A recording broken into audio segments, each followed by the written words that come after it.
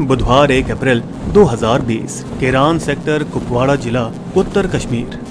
भारी बर्फबारी ने भारतीय सेना को अपने शिविर के अंदर रहने पर मजबूर कर दिया था। लेकिन उड़ते ड्रोन नियंत्रण रूप से लाइन ऑफ़ कंट्रोल पर निगरानी रखते हुए उस इलाके की फ़ोटो लगातार कमांड सेंटर को भेज रहे थे। रुको, जरा इसे जूम करो। ये डॉट देख रहे हो? लगता है शुरू हो रहा है। कोऑर्डिनेट निकालो सर जुमागुंड के केरन सेक्टर में घुसपैठ या हलचल नज़र आ रही है। कमांडिंग अधिकारी ने बिना हिचकिचाहट आदेश दिया, आठ जाट रेजिमेंट तैयार करो, हमें खतरे को तुरंत विफल करना होगा। उसी दोपहर लाइन ऑफ़ कंट्रोल से कुछ दूर जाट पलटन ने बर्फ़ में कम से कम चार से छह जोड़ी पैरों के निशान पाए और फुटप्रिंट का पीछा करने लगे। इस बर्फबारी में वो ज़्यादा दूर नहीं जा सके होंगे। सभी सतर्क रहिए। दूर पहाड़ी पर पेड़ों के बीच में उन्होंने पाँच लोगों को भारी उपकरण ले जाते हुए देखा। मिल गए। दोपहर के करीब एक बजे मुख्तसर गोलीबारी शुरू हुई। फिर वो पाँच घुसपैठिए अपने भार को हल्का करने के लिए गोला बारूद से भरे बैग वहीं छोड़कर पहाड़ की ढलान उतरकर गहरी घाटी में कहीं खो गए। आतंकवादियों का जल्द ही शोधन किया गया। उत्तर में लाइन ऑफ़ कंट्रोल और दक्षिण में शमशाबरी चोटी के बीच सीमित। आवा, कुमकाड़ी, जुरहुमा, सफवली, बटपोरा और हाय हमा के गाँवों पर घेराबंदी लगवा दी गई। 2 अप्रैल गुरुवार की भोर इकतालीस और सत्तावन राष्ट्रीय राइफल्स के सैनिक ऑपरेशन में शामिल हुए।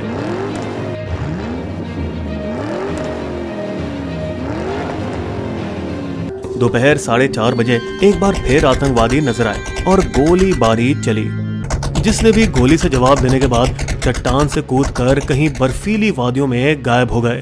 दो दिनों तक और पीछा जारी रहा। दो बार और गोलीबारियाँ हुई, लेकिन वो पकड़ में नहीं आए। मगर हाँ अब आतंकवादी कुपवाड़ा के घने जुरहमा जंगल के एक हिस्से में सीमित कर दिए गए थे। जुमागुंड गाँव से ज़्यादा दूर नहीं। वहाँ से बाहर निकलने के लिए शनिवार 4 अप्रैल देर रात चौथा पैराशूट रेजिमेंट, चार पैरा एसएफ बटालियन के दो पलटन खास आयोजन किए गए। ये विशेष बलों का वो हिस्सा है जो उरी हमले के बाद सीमा पार सर्जिकल स्ट्राइक कर चुके थे।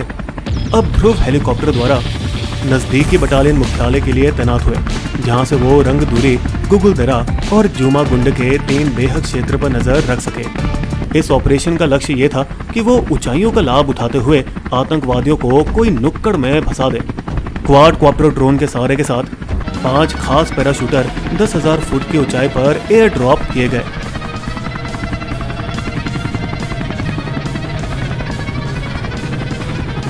सूबेदार संजीव कुमार दस्ते के नेतृत्व में थे। उनके पैरों के निशान का पीछा करो। कमांडो ने धीमी, सतर्क गति और चारों ओर नज़र रखते हुए निशान का पीछा किया। फिर जब रविवार 5 अप्रैल की सुबह होने वाली थी आगे के सदस्य सूबेदार संजीव कुमार, पैराट्रूपर अमित कुमार और हवलदार छत्रपाल सिंह। अनजाने में कंगनी पर चढ़ गए। पहाड़ की चोटी के किनारे एक जमा हुआ बर्फ़ का टुकड़ा, जो उनके इकट्ठे वज़न की वजह से टूट कर नीचे गिर गया और वे तीनों खाल की गहराई में गायब हो गए। पूरे 150 फुट नीचे गिरे। सीधे एक जमे हुए पहाड़ी नल्हा के ऊपर। और ठीक उसी जगह पर आ गिरे, जहाँ आतंकवादी छुपे थे। बावजूद इसके कि नरम बर्फ़ ने उनकी गिरावट के ज़ोर को कम किया। बाद में किए गए एक्सरे से यह पता चला कि गिरने से उनके शरीर की कई हड्डियाँ टूट गई। हैरत आतंकवादी भी फ़ायदेमंद स्थिति में थे, क्योंकि वे पहाड़ की आड़ में छिपे हुए थे। जैसे ही कमांडो अपने आप को इकट्ठा करने की कोशिश करने लगे, आतंकवादियों ने हमला किया। आगामी लड़ाई में आतंकवादियों ने पहले फ़ायदा उठाकर तीनों कमांडो पर लगातार गोलियाँ चलाई। जो मुश्किल से बस छह फुट की दूरी पे थे। इतने कम फासले पर एनकाउंटर कभी कभारी होते हैं। ज़्यादातर वो हमेशा दूरी से होते हैं। हवलदार अमित कुमार ने पंद्रह गोलियाँ खाई, जबकि सूबेदार संजीव और पैराट्रूपर छत्रपाल ने भी भारी गोलीबारियों का सामना किया। बावजूद इसके कि वो गिरावट में घायल और खुले मैदान में थे, उन्होंने कैसे भी करके शहीद होने के पहले पाँच में से दो आतंकवादियों को मार गिराया। इसी बीच हवलदार दविंदर सिंह और पैराट्रूपर बालकृष्ण अपने साथियों पर भारी गोलीबारी देखते हुए अपनी जान की परवाह के बिना ढलान से नीचे उतरकर युद्ध में शामिल हुए।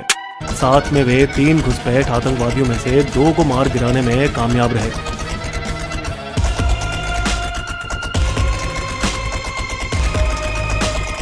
पांचवा आतंकवादी जो वहाँ से भागा, आठवें जाट सैनिक का शिकार बना।